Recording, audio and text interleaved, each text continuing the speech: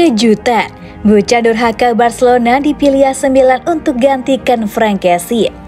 Klub Liga Italia Serie A AC Milan dilaporkan memasukkan nama gelandang RB Leipzig Alex Moriba dalam daftar belanja klub di bursa transfer musim panas ini.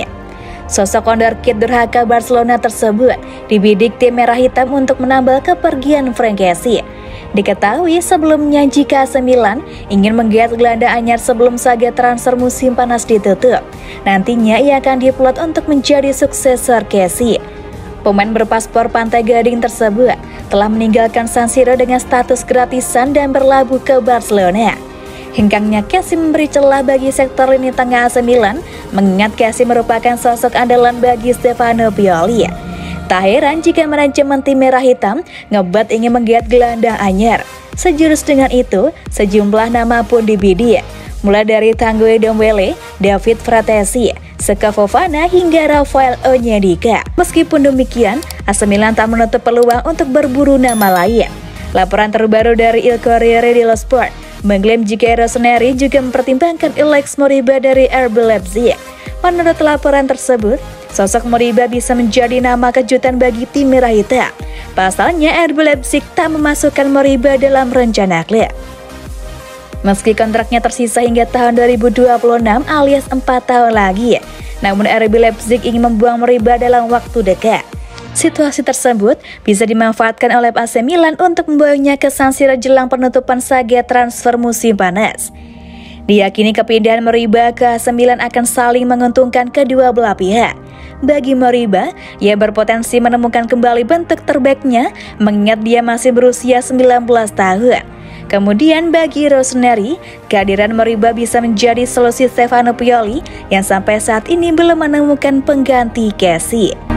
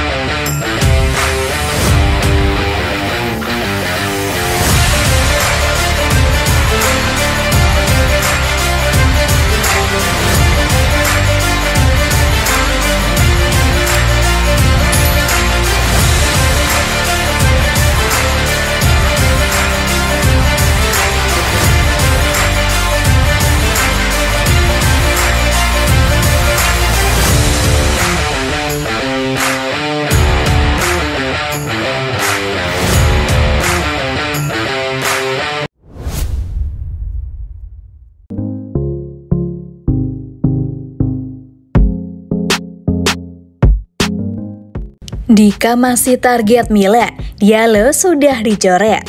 Pemain bertahan Eintracht Frankfurt Ivan Dika dikabarkan masih berada dalam radar AC Milan musim panas ini. Tetapi Abdo Diallo dari Paris Saint-Germain tampaknya bukan lagi target mereka. Sebagaimana yang dikemukakan oleh Tuto Sport, Rossoneri begitu fokus pada upaya mereka untuk memastikan agar mereka memiliki pemain bertahan baru untuk menutup lubang yang ditinggalkan oleh Alessio Romagnoli. Dua nama yang begitu santer diketkan belakangan ini untuk transfer permanen Milan adalah Dika dari Frankfurt dan Diallo dari PSG. Keduanya memang beberapa kali masuk dalam radar pengamatan klub, meskipun hingga saat ini belum ada langkah konkret yang diambil. Nama kedua diketahui telah dicoret dari daftar target Rossoneri lantaran saat ini transaksinya tidak mendukung secara ekonomi. Sementara itu, nama pertama akan habis kontraknya dalam kurun waktu satu tahun meskipun klub Bundesliga masih menginginkan tebusan sebesar 15 juta euro atau 224 miliar rupiah agar bersedia melepas bintang mereka. Nominal tersebut mungkin terlalu tinggi bagi Milan, tetapi jika mereka tidak bisa menemukan alternatif lainnya lebih sesuai dengan kriteria mereka, maka Paolo Maldini dan kawan-kawan tampaknya tidak memiliki pilihan lain selain merekrut bintang Entral Frankfurt. Terlebih ia tampil begitu impresif musim lalu. Jika memang demikian, manajemen bakal memfokuskan upaya mereka untuk memboyongnya dari Jerman dan benar-benar melupakan back PSG yang masih dihargai tinggi oleh klubnya.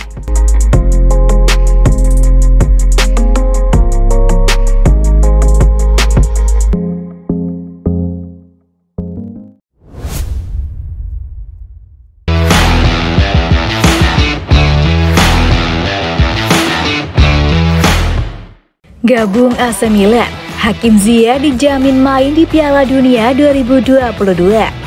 Winger Chelsea Hakim Ziyech dijamin main di Piala Dunia 2022 jika sang pemain bermain di tim inti raksasa Liga Italia Serie A AC Milan.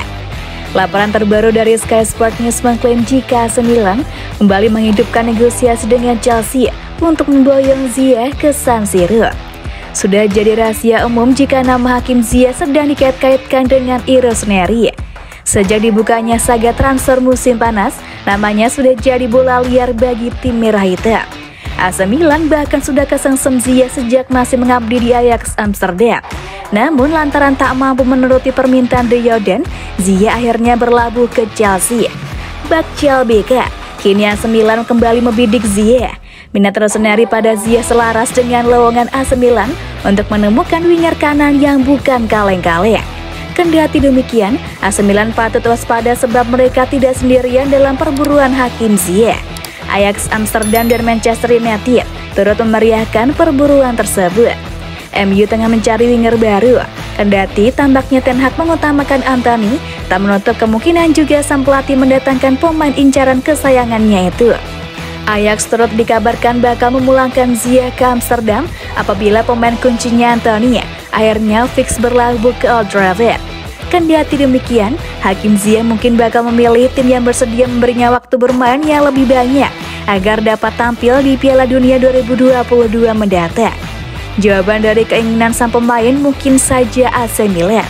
Dilansir dari Arab News, Maroko telah memberhentikan pelatih kepala mereka yang bernama Fahid Falihozik tiga bulan menjelang dimulainya Piala Dunia 2022 di Qatar. Dipecatnya Fahid Falihozik tampaknya terjadi lantaran caranya menangani dua pemain bintangnya yakni Hakim Ziyech dan Nausar Mazraoui. Piala Dunia bakal digelar 20 November mendatang di Qatar yang mana Maroko bakal satu grup dengan Kroasia, Belgia, dan Kanada di grup F.